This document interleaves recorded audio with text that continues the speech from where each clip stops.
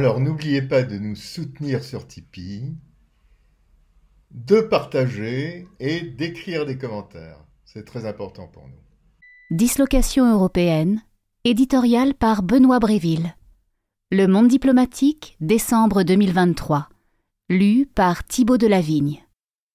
Quand, au matin du 28 février 2022, quatre jours après le début de l'agression russe, le président ukrainien Volodymyr Zelensky est apparu sur Facebook pour exhorter l'Union européenne à intégrer son pays, je cite, sans délai via une procédure spéciale, fin de citation, personne n'a vraiment pris l'affaire au sérieux.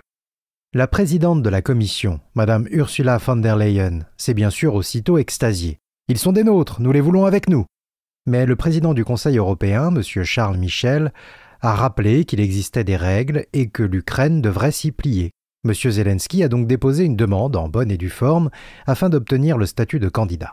Un sésame que la Turquie a mis 12 ans à obtenir, la Bosnie-Herzégovine 6, l'Albanie 5. Pour l'Ukraine, 4 mois ont suffi. En répondant avec autant de diligence, les chefs d'État et de gouvernement des 27 voulaient démontrer l'unité occidentale, leur soutien sans faille à Kiev. Et puis cela n'engageait pas à grand-chose. Le processus prendrait plusieurs décennies, expliquait alors M. Emmanuel Macron. Pourtant, le 8 novembre dernier, la Commission a recommandé l'ouverture officielle des négociations avec Kiev ainsi qu'avec la Moldavie, un avis que le Conseil européen pourrait valider dès sa prochaine réunion les 14 et 15 décembre.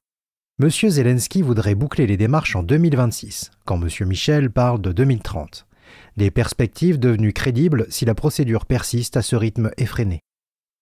Les dirigeants européens répètent qu'il n'est pas question de brader l'adhésion à l'Union. Mais, contrairement aux précédents candidats, l'Ukraine n'est pas évaluée sur ses capacités à atteindre les fameux standards en matière de lutte contre la corruption, de respect de l'état de droit, de défense des minorités, d'équilibre budgétaire, etc.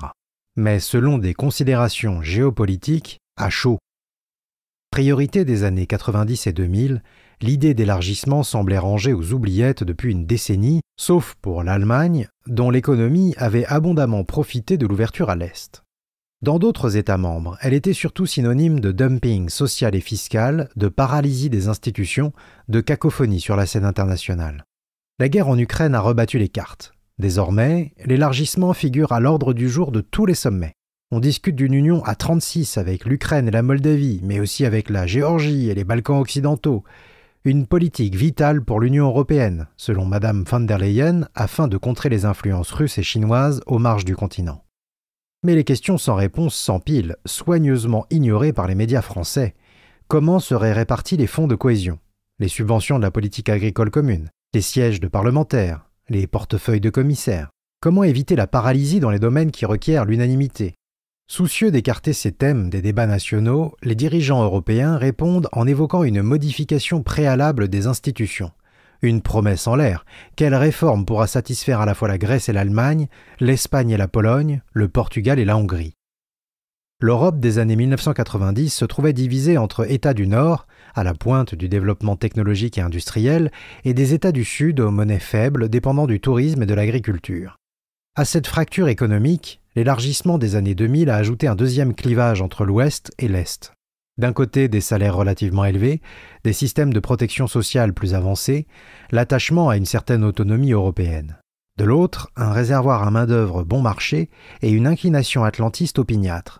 Obnubilés par la menace russe, les pays baltes et l'Europe centrale comptent sur l'OTAN pour assurer leur sécurité. Ainsi, le vieux continent écrit-il son avenir en amplifiant ses erreurs passées un sentiment d'insécurité économique croissant dans les classes populaires de l'Ouest, celui d'une inféodation, d'une colonisation qui ne dit pas son nom à l'Est, sans oublier la subordination toujours plus accentuée de l'Union à un empire américain déclinant. L'Europe se disloque à mesure qu'elle s'élargit.